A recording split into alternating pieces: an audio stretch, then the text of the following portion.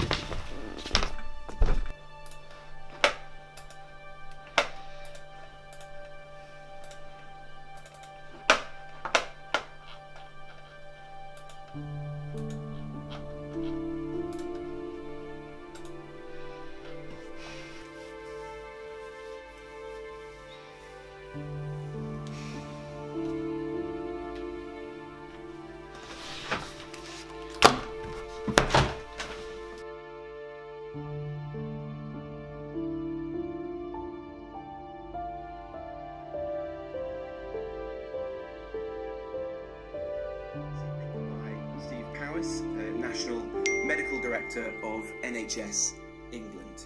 Steve will provide an update uh, on the latest data on coronavirus shortly. But first, let me update you on the steps we're taking to defeat it and the decisions that we've taken today.